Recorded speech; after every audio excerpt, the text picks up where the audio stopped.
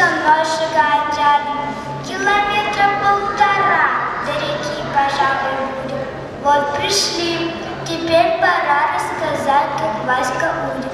Будет так, сидит молчком в напряженном положении, заклюет и с поплавком Васькин хвост придет в движение, знаки Васька подает.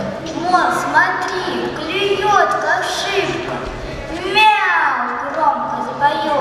если выдернула с рыбки. Рыбка снимется с крючка, съест ее и облизнется.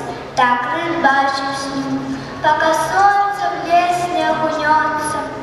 А когда придем домой, несмотря на всю закалку, сразу на бок Васька Завтра снова на рыбалку.